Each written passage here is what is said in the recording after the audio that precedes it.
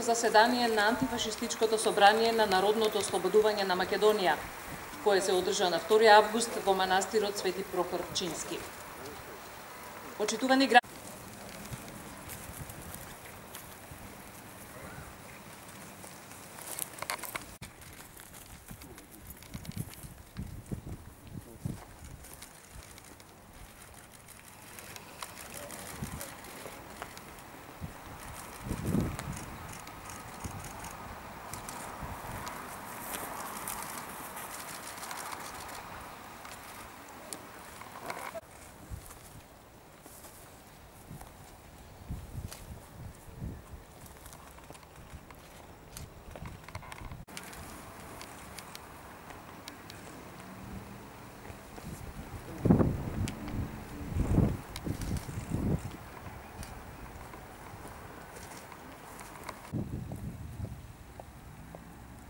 Добар ден, се извинувам, што снимате?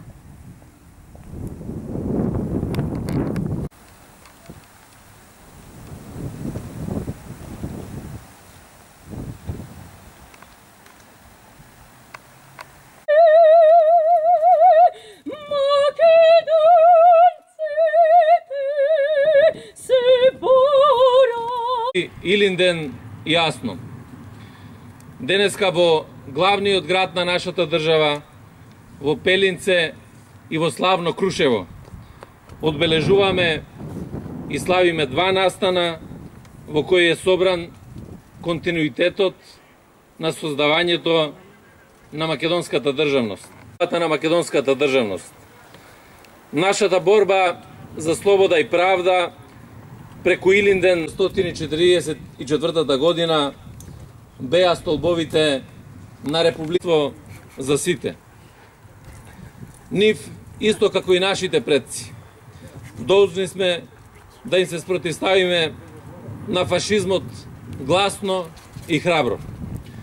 Бор се впишам во личната карта на нашата држава во Обединетите нации, каде што покрај името Република Северна Македонија за јазик стои македонски јазик.